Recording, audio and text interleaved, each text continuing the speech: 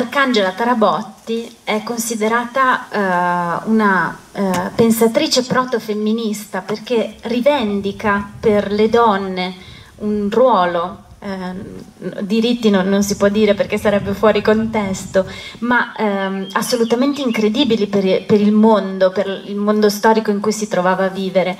E in particolare c'è anche un'opera che ha un titolo già di per sé molto evocativo. Non so se Francesca vuole.